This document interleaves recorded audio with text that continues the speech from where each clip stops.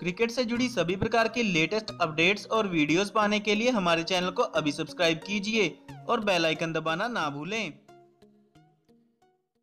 दोस्तों, युवराज सिंह के फैंस के लिए अच्छी खबर नहीं आ रही है। आपको बता दें कि युवराज सिंह एक बार फिर से योयो टेस्ट को क्लियर करने में नाकाम रहे हैं। दोस्तों, आपको पता होगा कि इससे पहले भी युवराज सिंह और सुरेश रायना दोनों ने योयो टेस्ट दिया था, जिसमें युवराज सिंह फेल रहे थे। इसके अलावा आपको बता दें कि आर अश्विन इस टेस्ट को पास करने में कामयाब रहे हैं। दोस्तों, युवराज सिंह अब पंजाब की ओर से रणजी ट्रॉफी में खेलते हुए नज़र आएँगे। आपको बता दें कि इससे पहले युवराज सिंह भारत की ओर से पिछला वनडे वेस्टइंडीज के खिलाफ जुलाई में खेले थे।